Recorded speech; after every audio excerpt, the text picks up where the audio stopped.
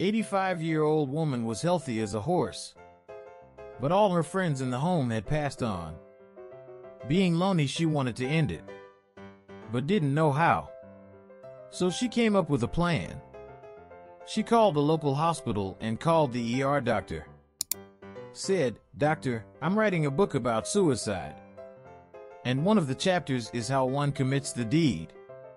So, doctor, if you were to commit suicide, how would you do it? Doc thought for a minute and said, if I were to commit suicide, I'd use a gun and shoot myself in the heart. Where's your heart located? asked the 85 year old.